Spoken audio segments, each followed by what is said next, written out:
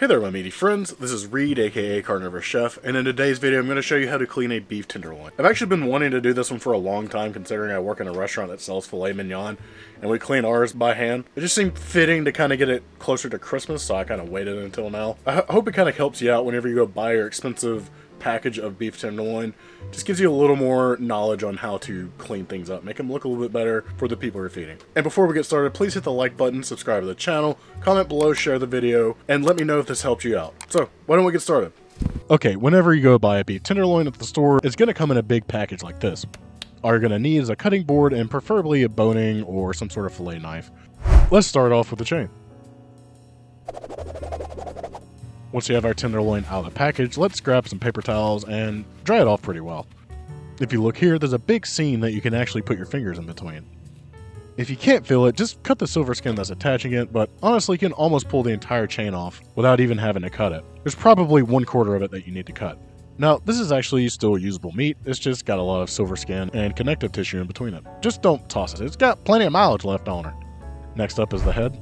The head is attached to the loin across from the chain. It's actually attached to the chain as well, but separated by fat and sinew. Just like the chain, you're going to look for some seams under the body of the tenderloin and start to separate. If you flip the whole thing around, you can get a pretty good idea of where you need to start cutting.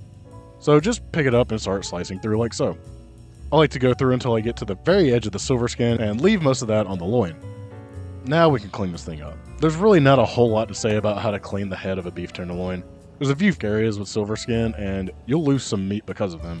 But that still doesn't mean you should throw away that meat. You can still clean that up and save it for your dogs. But what I like to start with is just pulling off any loose fat that you can feed to the raccoons. The biggest piece of silver skin is right here, and it actually goes through another piece of the meat which you'll likely lose, but you can feed that to the cats later. I don't want to spend too much time talking about how to clean the head because it honestly doesn't feel like it matters as much as the loin section. But with that said, you can use this for more fillets or putting in your grandmother's chair. I did end up with three nice sized steaks, however. Now we can focus on the loin. This is where we get our filet mignon. I like to start off with the silver skin. All you're going to do is cut under at the edge of the tail and then cut across with your knife while putting pressure up against it and slicing through. I didn't put quite enough pressure on mine and lost some of the meat. Or you can do it this way, which is cut on a flat piece, pull it up, and scrape down the meat. This is what I usually end up doing. The only thing is I'm left with these little ridges, but you could just push those down. I also like to remove about an inch or so of the tail ends. They never really work out into a steak, but are excellent scraps to feed your cow. On the opposite of this tail end is a big section of silver skin with some meat still attached to it. In my experience, this isn't always here, but it almost always feels like a second part of the chain. It's still usable meat, but it won't work in my fillets. So I usually just cut it off and save it with a chain. Just continue pulling off any loose fat that you may see on here and looking for more silver skin. Like, here's a little piece that gets hidden sometimes, and that just happened to be sticking out, so I noticed it and removed it.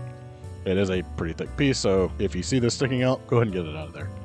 I try not to cut the fat sections off where the ribs were, but sometimes there's just some unavoidable silver there, so I cut some of it off. I try to leave as much as possible because it's such a lean meat that every little bit of fat helps add flavor to it. I'm shooting for 6 ounce portions. You can cut yours into whatever you want, obviously. So to butterfly, the first one, just cut off a section at the end, cut a third of the way through the steak on the thicker side to at least three quarters of the way through the entire steak. Then fold it and round it out. After that one, we could continue with our steaks until I get to the other side, and I'll usually have to butterfly it as well. On occasion, like this one, I ended up with a little bit of excess at the end that I will add to my scrap pile. Don't forget that this is all perfectly good meat that you can use to power a rocket. So, out of a 7 pound ish beef tenderloin, I was able to get 13 6 to 7 ounce steaks with about 1.5 pounds of scraps. Not bad. And that is it. This probably takes me 15 to 20 minutes now. It may take you about 30 minutes. It's really just, like I said, it's all up to you on how clean you get it.